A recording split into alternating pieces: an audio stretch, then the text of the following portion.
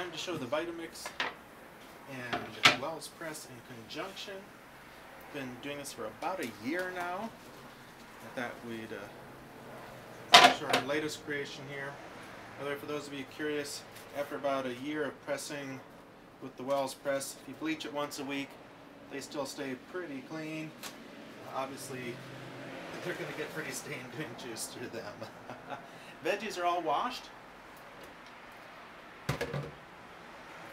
So we're just going to chop them up, throw them in the Vitamix. Today it's carrots, bit of ginger. Yeah, just throw peels and all in.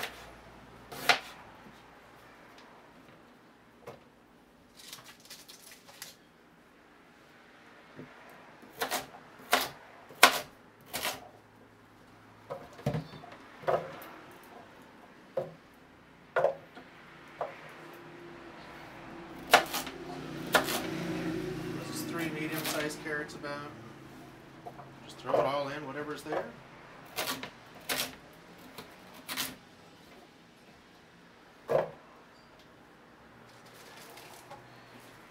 Swiss chard from the garden. It's about one pound of Swiss chard, 10 large leaves.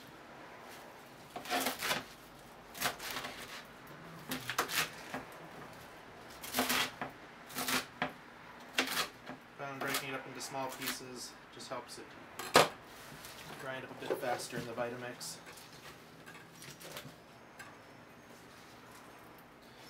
Sometimes with all the leaves in there, it's a little hard to get it down at the beginning, so you might have to run it and then add in the remaining ingredients. Other times you can get it all in. Uh, half a chayote, the other half got used in a juice this morning.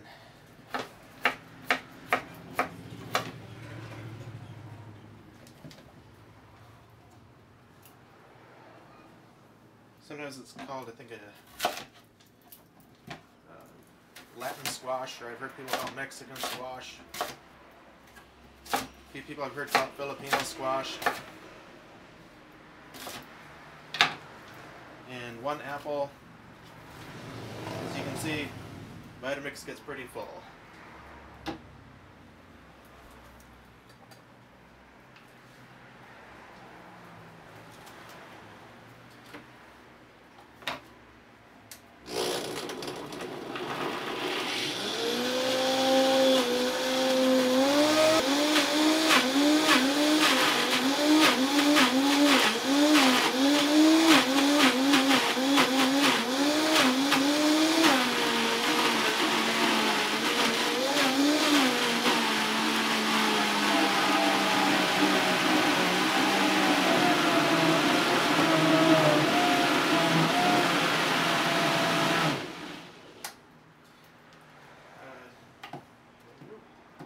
Yeah, usually put the leaves in first. That seems to work a little better. Once everything's ground up,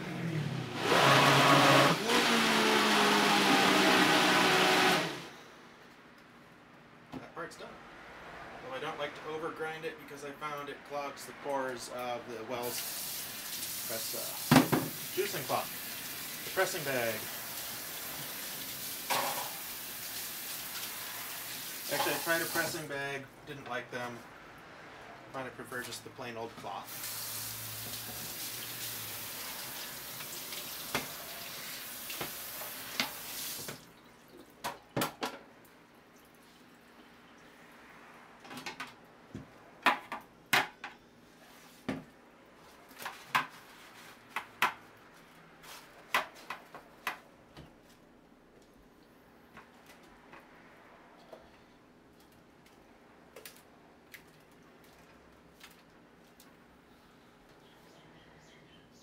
Sometimes it takes a couple of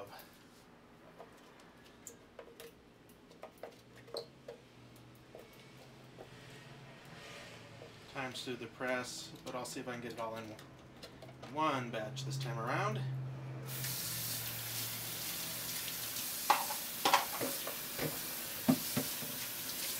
As you may have noticed, I like to wash the dishes up as I go because one thing I didn't like about centrifugal juicers was all the cleanup time. You have to do all of it at the very end.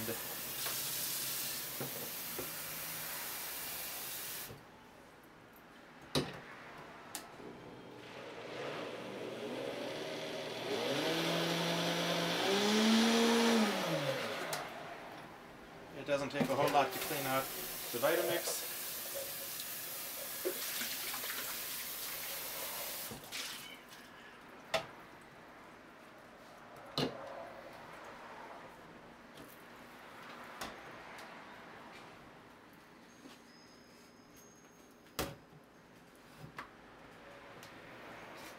Let's see if we can get all this fit in one time in the press crawl. Gonna fold it up like a big old burrito.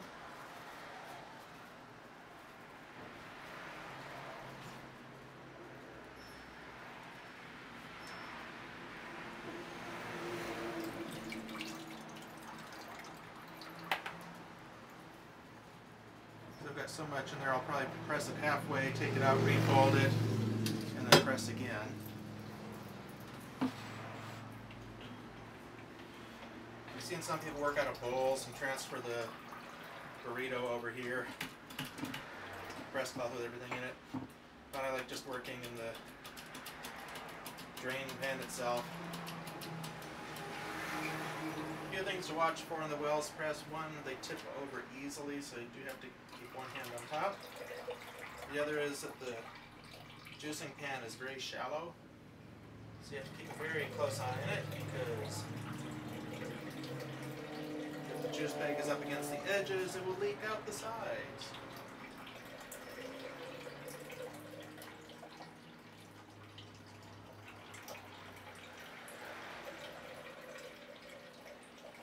You may have seen I had a few drips off the back.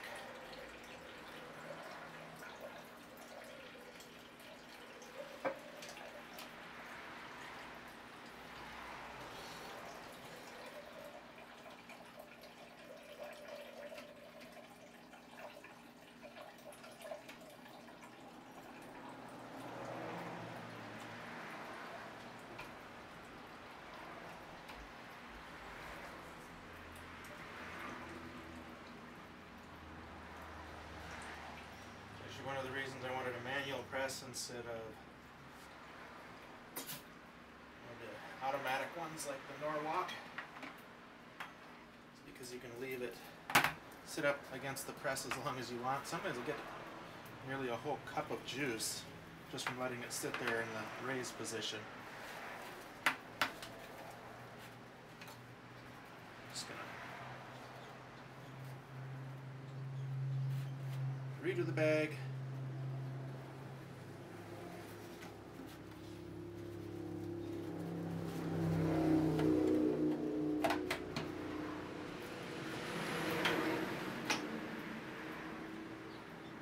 When you turn the release knob on the Welles press, they do say not to turn it more I think, two turns. I've never had to go more than about three quarter turn. But if you've got a new one of these, they are very stiff at the beginning. They loosen up over time getting the juice tray down. When it's all done, I'll show you a nifty trick someone online pointed out that worked really well for that. And then while it's draining the last bit, good time to clean up.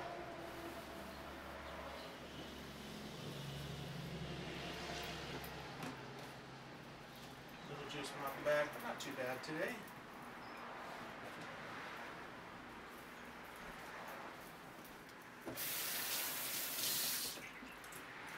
You can let it sit there till the last drop is out. Or like Just say, ah, that's enough. It'll continue dripping for quite a while.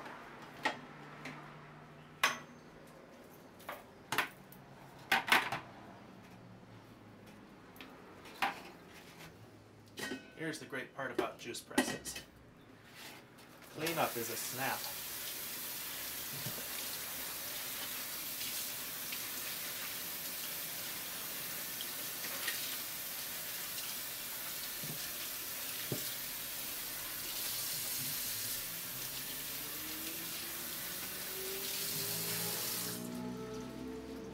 I usually just rinse out the bag after each one. doing this three to five times a day. At the end of the week, I'll bleach it. As you can see, it does get stained, obviously green, because this was a green juice. If you're doing carrot, it'll come out orange and eventually brownish red.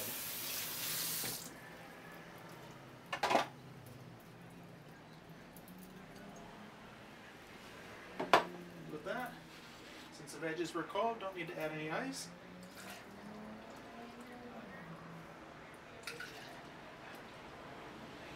For those wondering, the green color still makes it taste weird in my opinion. But if you ignore the color, they actually taste pretty good. I have found I much prefer Swiss chard to lettuce for juicing as far as taste. I found the lettuce just gave it too much of an algae flavor. Don't know about you, I don't like drinking algae.